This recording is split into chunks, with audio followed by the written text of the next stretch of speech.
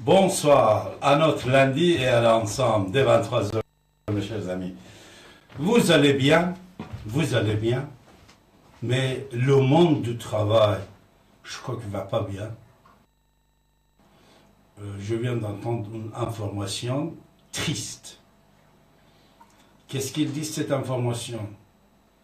25% des employés en France les fonctionnaires, ils sont hyper stressés.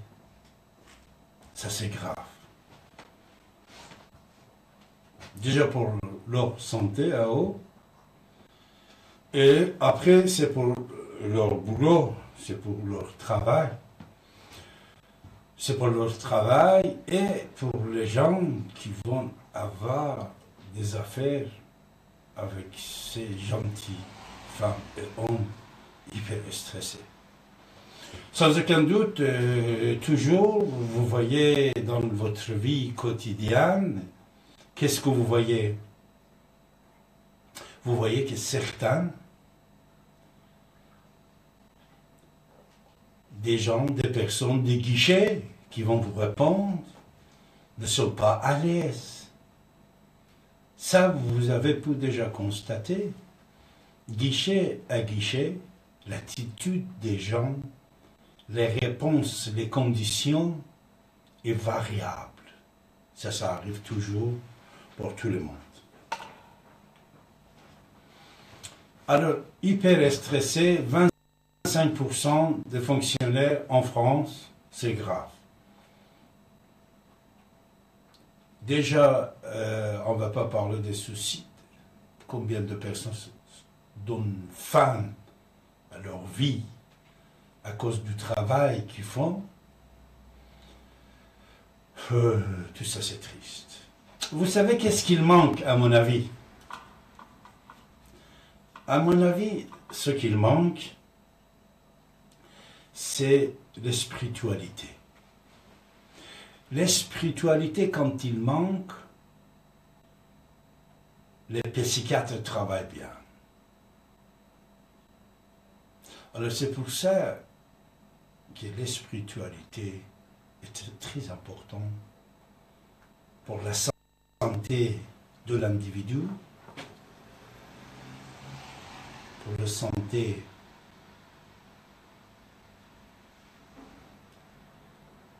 de la famille et bien sûr pour la santé de la société, du pays et du monde. Vous voyez, ça commence par l'individu l'individu, famille, société, pays et le monde.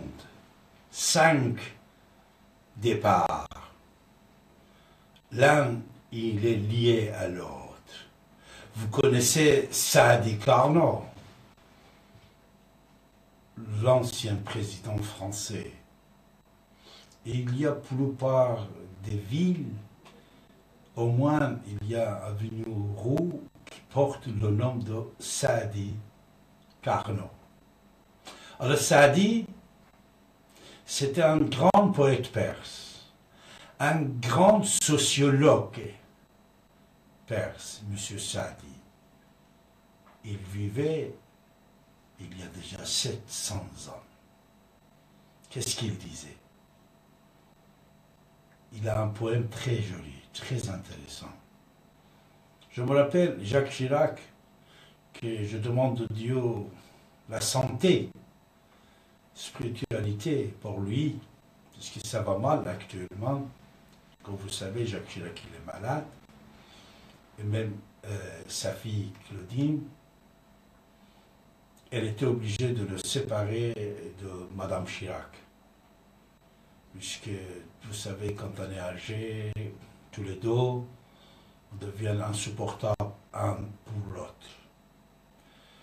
C'est pas grave, puisqu'il y avait une autre personne assez généreux qui a donné un château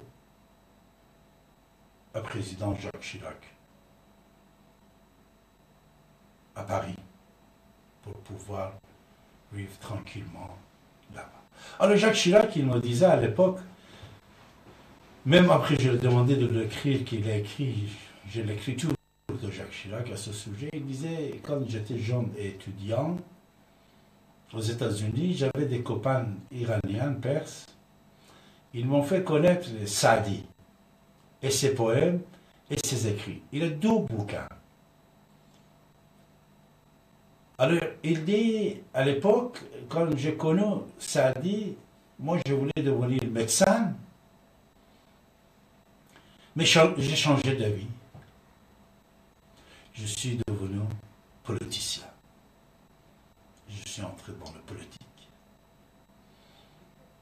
Voilà, docteur Chirac. Vous vous rappelez, à l'époque, Yasser Arafat aussi, il disait à Chirac, docteur Chirac. Docteur Chirac, il voulait devenir docteur, mais il devient maire et président. Alors, ça dit, qu'est-ce qu'il dit? Parmi tout ce qu'il dit, il dit nous. En personne, il dit Bani Adam, Azaye, il dit nous, l'humanité en totalité, nous ne sommes qu'un seul cœur. Nous ne sommes qu'un seul. Un seul. Et un jour, si une partie de nous aurait mal, la totalité de l'humanité va avoir mal. voilà, c'est pour ça qu'il y a ces cinq éléments, l'individu, famille, société, pays, le monde, selon David Abbassi, hein. ça c'est à moi, je parle quelque part.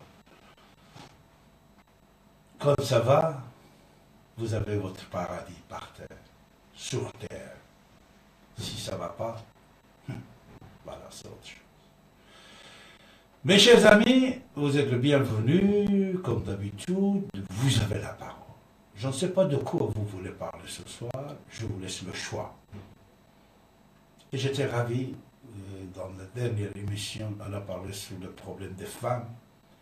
Euh, quelques personnes sur l'antenne et plusieurs personnes hors antenne m'ont téléphoné en disant que ça c'était très intéressant de parler de ce problème familial et surtout des lois qui vont être instaurées en France en faveur des femmes. Vous n'avez plus le droit de frapper votre femme. Vous n'avez plus le droit de harceler les filles, les garçons, enfin, les gens. Vous allez être punis. Et c'est l'État qui va vous poursuivre. Malheureusement, un jour après le journée, journée nationale contre la violence, nous avons entendu la version, le jugement de procès concernant Léo et Émilie. Émilie, une jeune fille de 14 ans,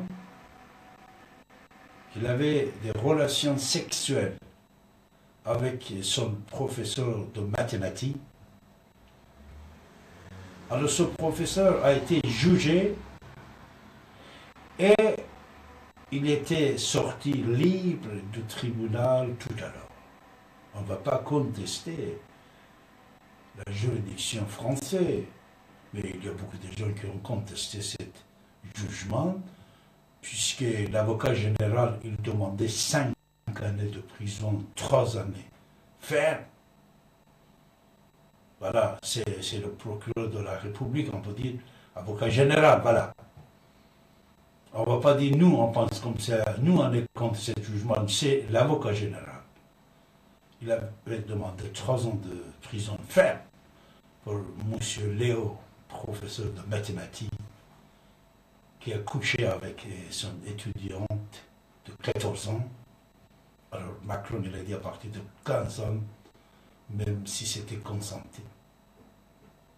Ça, il avait 14 ans, il avait des problèmes familiaux, beau-père et sa mère, et il voulait se confier à son professeur comme un psychiatre, au lieu d'aller voir un psychiatre, il était allé dans le bras de son professeur, Euh, son professeur, euh, il a profité.